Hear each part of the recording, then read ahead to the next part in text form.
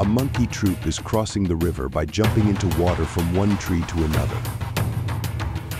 A huge crocodile is lurking in the water, waiting for a chance to catch a monkey. The last ones to cross are a mother monkey and her baby.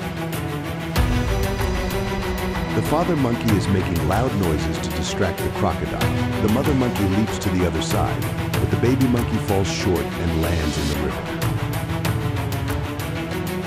The crocodile snaps its jaws, but the baby monkey dodges and swims to the shore.